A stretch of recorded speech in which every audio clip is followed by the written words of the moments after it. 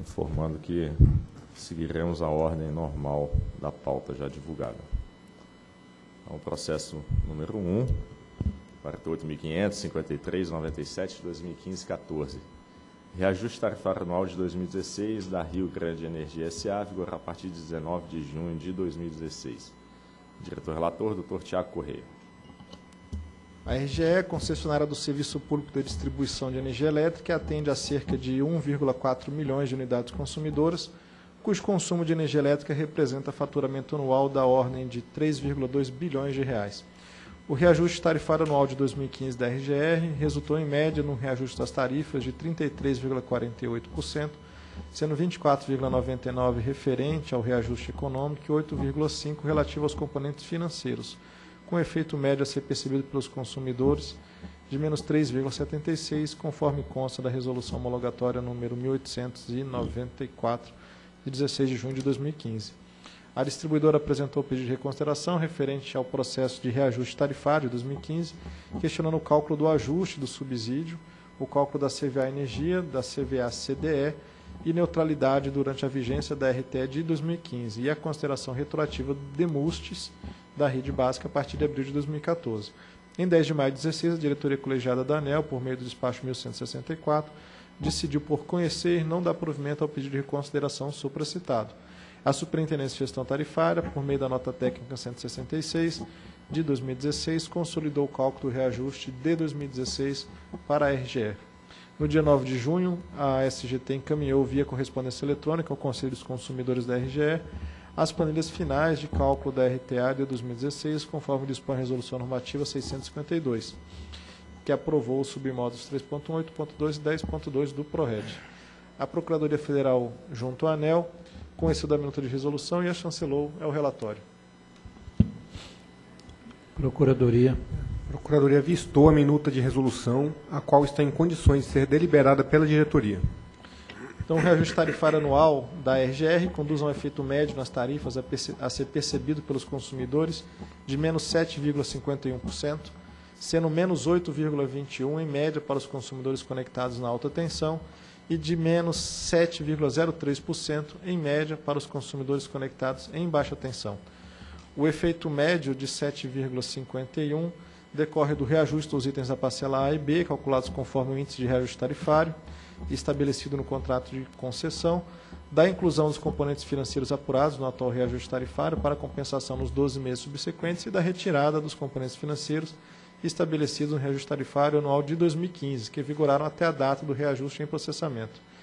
A atualização dos custos da parcela A e B contribui para um efeito médio de menos 0,67%, ao se ter como base a comparação à parcela A na data do reajuste anterior os custos estabelecidos e os custos estabelecidos no reajuste de 2015. Em relação à atualização dos componentes financeiros, após um atual reajuste para compensação nos 12 meses subsequentes, esses contribuíram para um efeito tarifário também negativo de 0,81%. Já o efeito da retirada dos componentes financeiros considerados no processo anterior representa uma redução de menos 6,02%. Então, o principal item é, a contribuir com o efeito tarifário é, de fato, a retirada dos componentes financeiros, em função aqui, inclusive, da, da, da CVA em processamento. É, o gráfico 1 apresenta os itens de custo que conduziram a esse efeito, já no, no item aqui discricionário. Então, os encargos setoriais, menos 1,91, custo de transmissão, menos 0,31, aquisição de energia, menos 0,77. O único item a contribuir positivamente para o aumento foi o, o, a remuneração da distribuição, os componentes financeiros, então, do atual do novo processo e do, da retirada do processo anterior, conduzindo a um efeito médio de 7,51. A tabela 2 apresenta os itens de custo que conduziram a esse efeito médio. Então, aqui nessa tabela cabe o destaque para a redução da CDE, ela reduziu menos 35,57, contribuindo para um efeito de menos 4,92, mas houve um aumento bastante significativo de encargo de serviço de sistema, encargo de energia de reserva, que aumentou 110% e teve um efeito de 2,83 positivo. Então, mais ou menos, embora seja muito mais alto em relação a ele mesmo, no reajuste ele tem mais ou menos o peso da metade da CDE. Em relação aos encargos financeiros, o principal item é, positivo é a, o CVA em processamento da energia comprada, E o principal item negativo é o saldo compensada CVA no ano anterior, que é menos 4,39.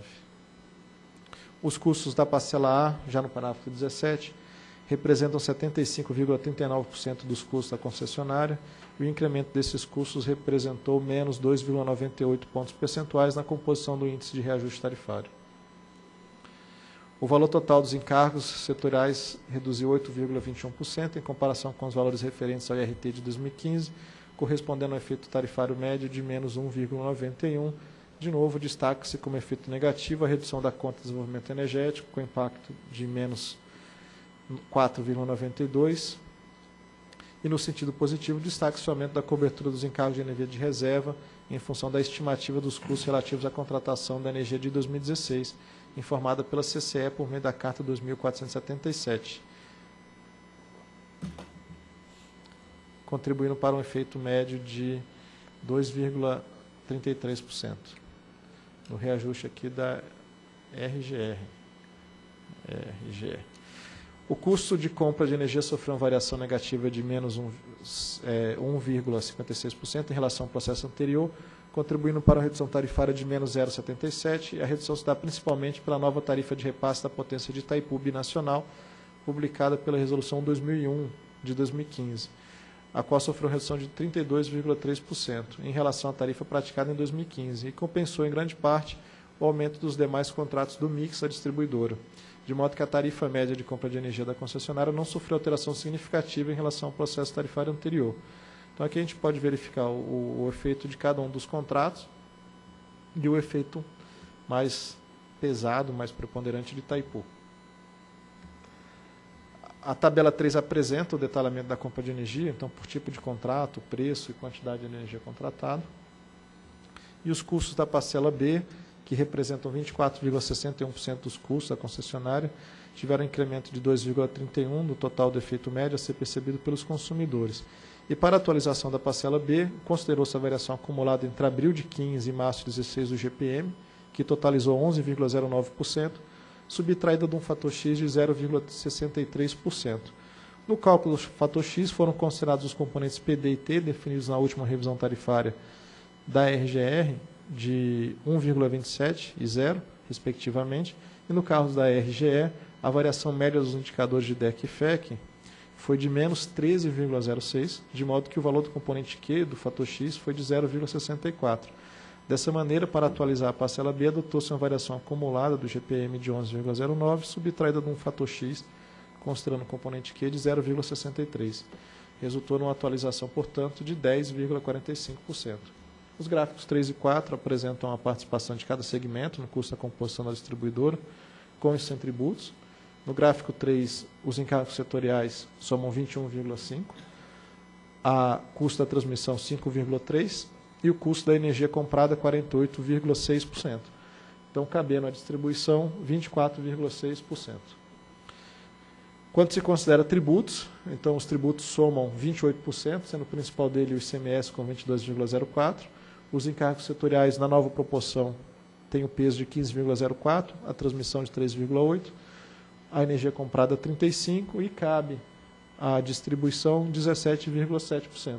Então, efetivamente, a cada 100 reais pago pela, pelo consumidor distribuidora, 17,70 vão para a distribuidora, o restante é para pagar tributos, encargos e os demais custos do sistema. Quanto aos componentes financeiros a serem recuperados no próximo período tarifário, ressalta-se a conta de compensação da variação de valores do item da parcela A, CVA, relacionado aos custos da aquisição de energia, que representou um repasse de 217 milhões 747 mil 109 reais e 51 centavos, com efeito no atual reajuste de 6,73%. E os contratos provenientes do 18º leilão de ajuste, os contratos da Cote Itaipu, foram os principais é, impactadores do saldo da CVA Energia. Já a participação no mix do contrato da RGE, desses contratos, foram de 4% e 20%, respectivamente. podem se justificar, o primeiro, pela elevada tarifa praticada durante o período de suprimento, sem a cobertura econômica específica, já que o leilão foi realizado no meio do período de referência da concessionária, e o segundo, devido à alta do dólar, ocorrido no período de análise, aliada à tarifa de repasse de Itaipu, estabelecida pela Resolução 1836, e cobrada a partir de janeiro de 2015. Com isso, houve uma grande diferença entre a tarifa de cobertura considerada no processo tarifário anterior e o valor realizado. A superintendência ressalta que a receita proveniente da aplicação dos adicionais de bandeira tarifária vermelha e dos repasses da conta bandeira, incluindo-se a parcela do superávit da conta bandeira alocada para a concessionária, contribuiu para que a tarifa da RGE não sofresse um aumento adicional médio de 12,44%. Mais uma vez, confirmando é, a o acerto da ANEL em definir essa metodologia, porque ela reduz bastante o, o impacto financeiro é, e contribui para que a, a, tarifa fique menos volátil, estabelecendo um, um acompanhamento em tempo real. Então, os componentes da, da, tabela 4, os componentes financeiros todos detalhados.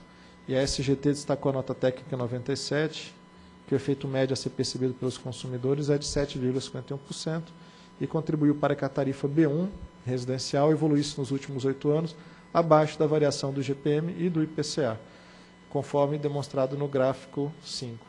Então aqui tem um efeito bastante interessante, porque a tarifa evoluía de certa maneira muito próxima ao IPCA.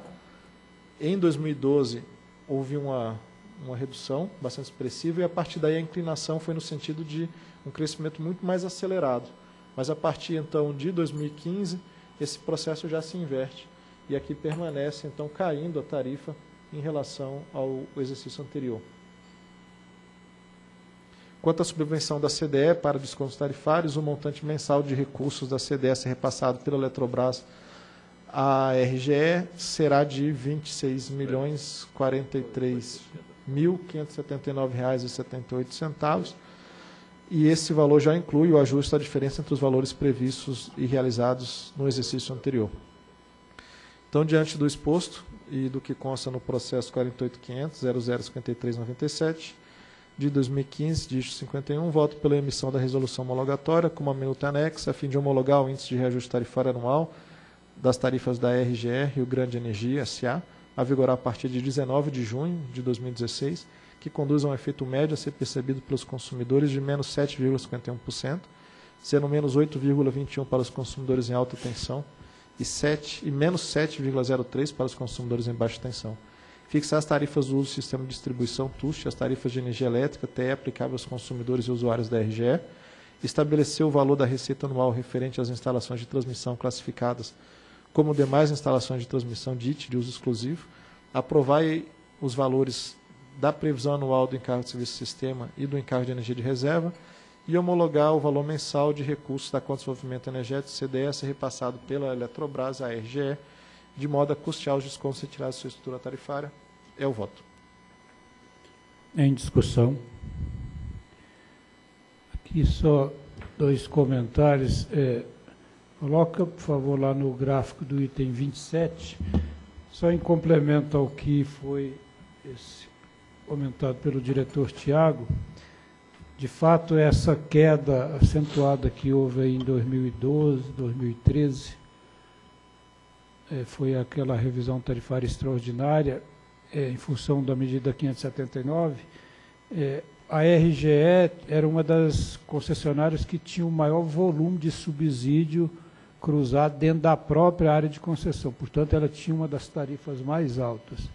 E aqui realmente é o efeito de uma mudança da política, no caso não é a ANEL que decide isso, de que esse subsídio, tanto para pequenas distribuidoras e, e permissionárias e, e alguns subsídios dentro da área de concessão, que até então era custeado pelos demais consumidores da própria área de concessão da RGE, agora passa a ser custeado pelo, pelo consumidor Brasil, via CDE. Então, por isso que houve uma queda acentuada pela retirada desse subsídio do processo tarifário da própria distribuidora e não volta para aquele patamar porque agora esse subsídio segue sendo custeado pela CDE. Então, isso foi uma mudança da política, no meu modo de ver, até justa, porque grande parte desse subsídio, quem se beneficia dessa tarifa mais baixa não é o consumidor da área de concessão da RGE, é o Brasil, digamos assim. Então, é, é, aqui é o resultado dessa mudança da política de cobertura desse subsídio. E o outro ponto que eu acho também importante é, ressaltar, que foi comentado pelo diretor relator, e, o que revela uma tendência, quer dizer, esse índice negativo, essa redução tarifária da ordem de 7,5 pontos percentuais na tarifa da RGE, é porque tem dois, é, basicamente está concentrado então nos efeitos financeiros, como foi explicado, é porque na medida que avança aí as datas de aniversário a partir de, desse momento, segundo semestre, é que vai ser retirado um financeiro que tende a ser um pouco maior do ano passado, processo tarifário, que é o que aconteceu aqui, mais de 6% de retirada de financeiro do ano passado, e passa a ser incluído um financeiro desse ano que tende a ser muito menor e na medida que avança aí no segundo semestre, podendo ser negativo fundamentalmente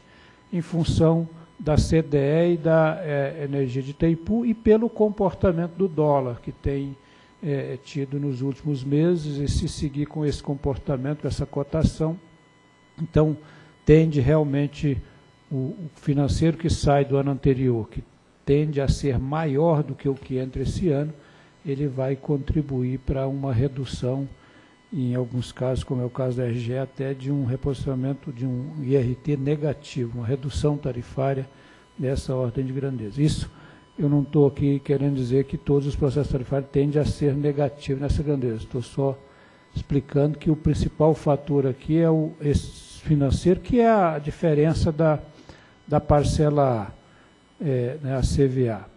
E aí também o Tiago comentou, e eu, eu também reforço, naqueles gráficos lá do gráfico 3 do, do item 24 do voto, tanto o gráfico 3 como o 4, que é o que ele comentou, quer dizer, na medida em que a gente tem feito um esforço nesse sentido, que a parcela B assume uma proporção muito pequena no valor final da tarifa, dizer, o grande item parcelar, energia, tributos e a próprio custo de transmissão, quer dizer, qualquer oscilação na tarifa, na parcela A, ela realmente comprime a parcela B de uma forma que fica difícil a empresa gerir esses casamentos, sob o ponto de vista especialmente financeiro, já que o econômico, em alguma medida, está neutralizado pela CVA.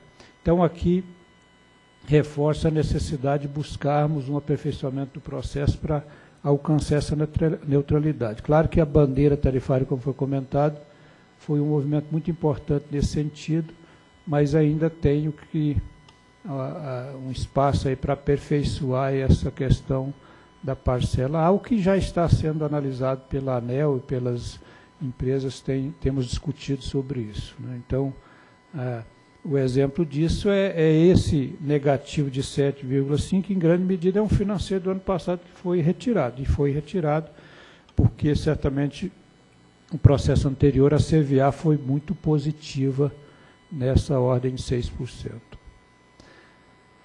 Bem, então, em, discussão, é, em votação. Eu voto com o relator. Eu também voto com o relator e proclamo que a diretoria decidiu por homologar o índice de reajuste tarifário anual das tarifas da RGE, Rio Grande Energia SA, a vigorar a partir de 19 de junho de 2016, que conduz ao efeito médio a ser percebido pelos consumidores de menos 7,51%, sendo em média de 8,21 negativo para os consumidores conectado em alta tensão e menos 7,03 para os conectados em baixa tensão. Fixar as tarifas de uso do sistema de distribuição e a tarifa de energia aplicável aos consumidores e usuários da RGE. Estabelecer o valor da receita anual referente às instalações de transmissão, classificado como DITS. Aprovar os valores de previsão anual dos encargos de serviço de sistema e energia de reserva e homologar o valor mensal de recursos da CDE a ser repassado pela Eletrobras à RGE, de modo a custear os descontos retirados da estrutura tarifária. Antes de chamar o próximo item, é, escapou aqui que temos também que aprovar a ata da terceira reunião pública extraordinária da diretoria, realizada na última terça-feira. Portanto, indago dos diretores se tem alguma observação. Não tendo, então, considero também aprovada a ata da terceira reunião pública extraordinária da diretoria. Próximo item.